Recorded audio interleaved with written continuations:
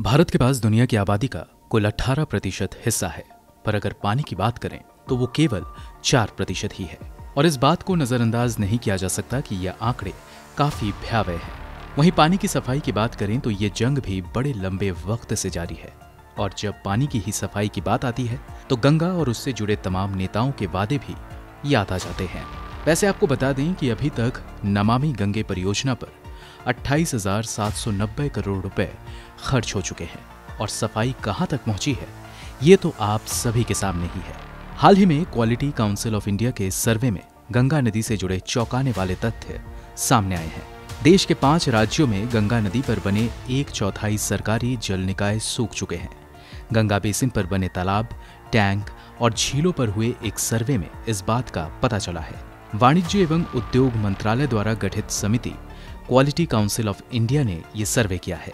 इसका लक्ष्य देश के हर एक ज़िले में गंगा नदी पर बने जल निकायों की स्थिति का जायजा लेना है, जिससे उनमें सुधार लाकर उन्हें और बेहतर बनाया जा सके। क्वालिटी काउंसिल ऑफ़ इंडिया ने अब तक ऐसे पाँच सौ अठहत्तर जल निकायों का सर्वे किया है। इसमें उत्तर प्रदेश के सभी तीन सौ उनतीस जल निकाय शामिल हैं। इन 578 जल निकायों में से 411 के आसपास आबादी वाला क्षेत्र मौजूद है।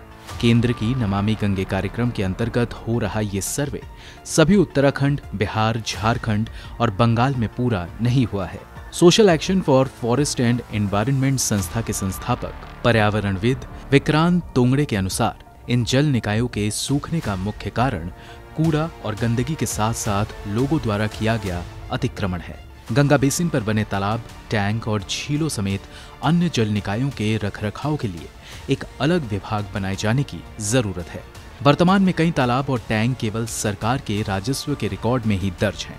गंगा पर बने इन जल निकायों को बेहतर करने के लिए लंबे अरसे से कार्य कर रहे विक्रम ने बताया कि उत्तर प्रदेश में इस सर्वे से बेहद चौंकाने वाली बात सामने आई है।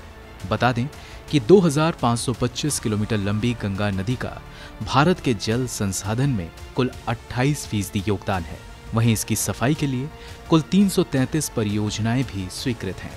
साथ ही इन सब के बावजूद जमीनी स्तर पर गंगा नदी के हालात आपके सामने हैं। Bureau report, Go News.